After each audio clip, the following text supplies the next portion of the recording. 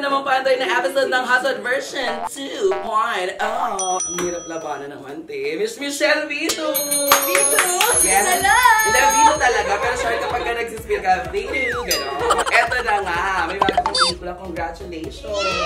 Anong masasabi mo na ito ba yung may tuturing mo na first ever, ikaw yung pinaka-main na leading lady? Ito yung talaga yung pinaka-first ko masasabi. Ito dito lang ako. Kamusta ka trabaho si Aki, si John? Ano, magka-vibes kami ng ugali. Parang kami ni John, yung parang kaugali namin ni John si Aki. Kumbaga matchy-matchy. Si John hindi first time kasi dito sa ABS, lagi nagkaka... Kabatch ko si John no, kasi Totoo. close talaga kami ever since. Pero hindi naman kita kapaalisin agad-agad dito nang walang pa-challenge, no? Alam mo naman, dito lagi may element of surprise. At ito ang surprise ko sa'yo. Ang tawag natin dito ay Booking and Challenge. Siyempre, wala naman dito yung mga boys. Wala sila dito. So gusto ko, mula mismo ano siya, di ba ganun girly-girly talk, chika-chikahan. Yes. So share mo sa amin. May tatanong ako sa'yo, ikikwento mo lang, i-reveal mo lang kung sino si sino.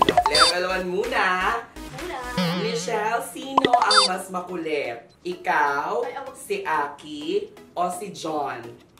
Five, four, three, two, si John! Bakit si John? Si John kasi, ang kulit all the time talaga ni John. Ang daming balat, ang daming joke. Hindi na uubusan. O, at sino naman sa inyong tatloan ang madalas inaantok at nakakatulog sa set? Ganon.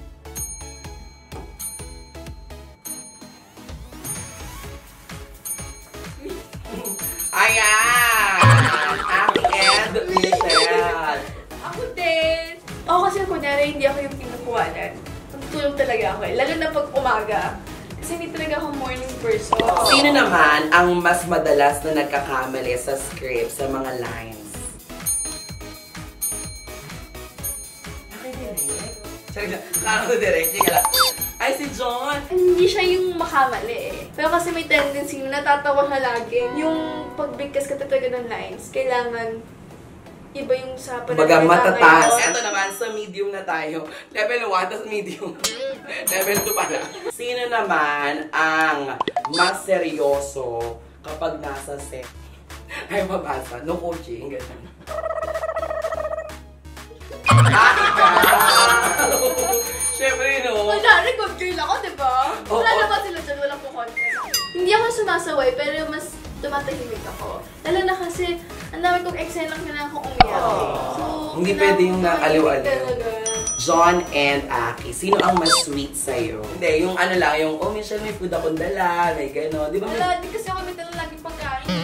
Parang yung mga boys, no? Talaga boys will always be boys.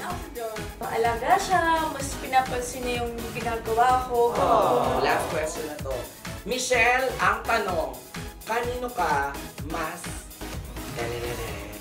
Sorry, sorry. Mas na-awkward. Actually, wala. Pero siguro siya.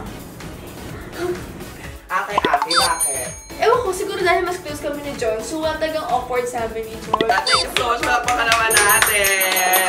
I hope nag-enjoy ka. And thank you so much sa mga big, big, big revelations. Thank you po. Huwag niyo akong aawain guys ha. Hindi wala yan. Happy, happy lang. Invite na silang lahat na panoorin ang Dito Lang Ako.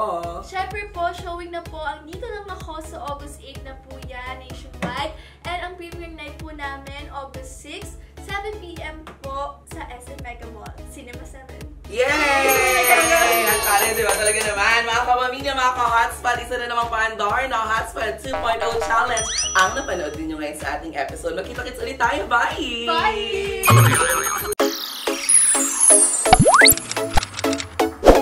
Hi, kapamilya! Subscribe to ABS-CBN Entertainment YouTube channel and for more hotspot videos, just click the I button.